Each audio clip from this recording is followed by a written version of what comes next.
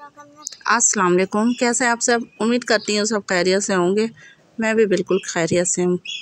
आज मैं आप लोगों के साथ आलू की एक मुनफरद सब्ज़ी शेयर कर रही हूँ।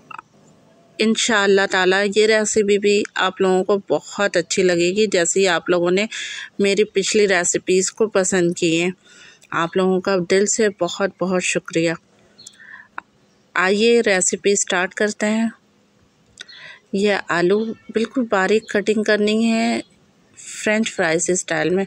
फ्रेंच फ्राइज थोड़े से मोटे होते हैं और ये बिल्कुल पतले पतले से होंगे। लेकिन स्टाइल वही है कटिंग की। इसको धो के इस तरह छलनी में रख लें ताकि ये इसका पानी बिल्कुल खुश्क हो जाए। ये थोड़े मसाले निकाल के रखें, एक अदद प्याज है, हरी मिर्च है बीस से कटी हुई। कुटी हुई मिर्च है एक टेबल स्पून जीरा है, एक टीस्पून हल्दी है हाफ़ टी स्पून नमक हंसपे जायका है, हरा धनिया बारीक कटी हुई है। और ये सारे मसाले आप कटिंग करके रख लें। इसके अलावा कोई चीज़ यूज़ नहीं करते हैं। और ये सुबह नाश्ते में पराठे के साथ बहुत यमी लगता है। आप लोग ज़रूर ट्राई कीजिएगा। झटपट तैयार होने वाली रेसिपी है और आप लोग जब बनाएँगे तो इन आप लोगों को ज़रूर पसंद आएगी। और बच्चे बड़े सब बहुत शौक़ से इसको खाएँगे। अच्छा ये जब बनाए ना तो ये सारी चीज़ें निकाल के रख लें ताकि हर चीज़ जल्दी झटपट तैयार हो जाए। या पहले ये सारी चीज़ें कटिंग कर लें, सारे में सामान निकाल लें और फिर फ़ौर झटपट तैयार होने वाली रेसिपी है फ़ौर फ़ौर सारी चीज़ें।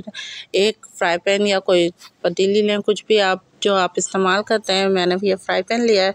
इसमें ऑयल डाला है हाफ़ कप ऑयल थोड़ा ज़्यादा यूज़ होता है। हाफ़ कप से थोड़ा सा ज़्यादा ले लीजिएगा।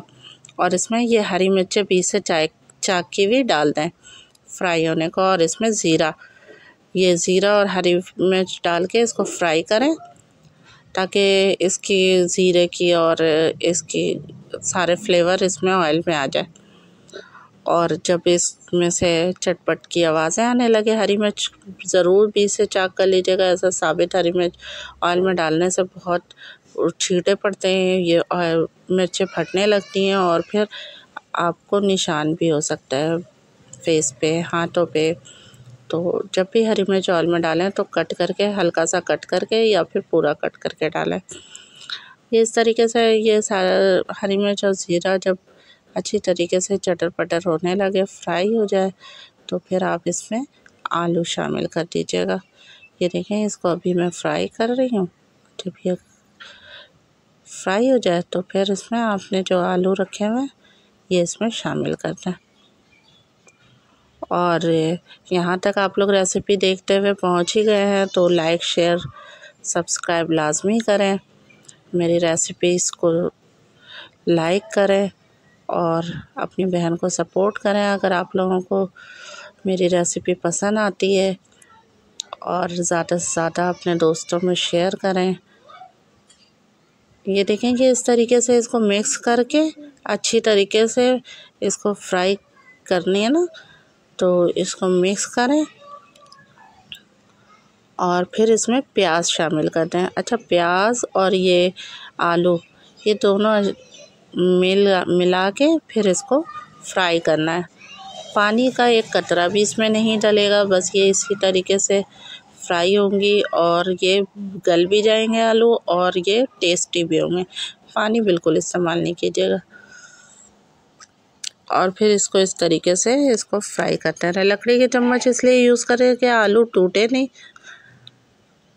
क्योंकि ये बारीक कटे हुए जल्दी गल जाते हैं तो इसलिए आलू को इस तरीके से लकड़ी के चम्मच से मिक्स करते रहें। और ये अब नमक शामिल करती है।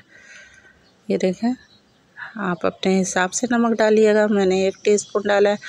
आपको जितना आप नमक लेते हैं और अब इसमें हल्दी और ये कुटी हुई मिर्च शामिल कर दिए जब ये सारी चीज़ें इसमें शामिल करते हैं तो इसको अच्छी तरीके से मिक्स करें।